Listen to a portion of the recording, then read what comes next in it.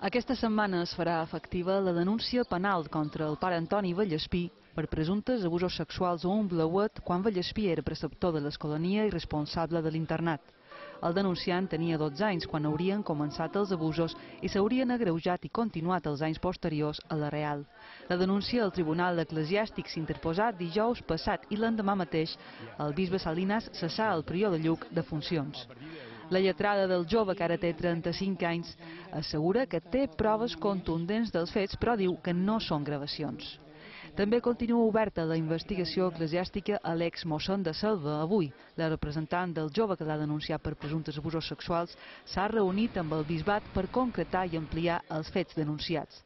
Segons la seva versió, hi ha més capellans implicats. El rector de la Pobla no hauria abusat del denunciant, però sí que li hauria demanat tenir relacions quan era infant.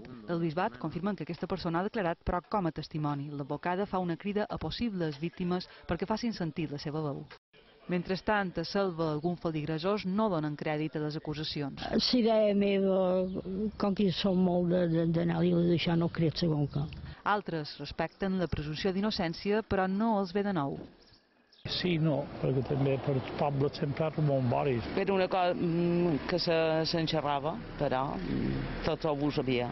Referent al cas del rector de Camp Picafort, Pere Barceló, expulsat de l'Església l'any 2013 i amb una investigació penal oberta, l'audiència troba indicis suficients contra ell per mantenir l'acusació d'agressió sexual en penetració.